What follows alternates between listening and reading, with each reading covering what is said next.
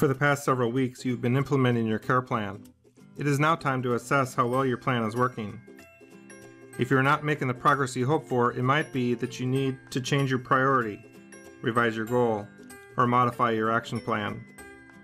The challenge for this week is on identifying what is working and what is not working with your care plan.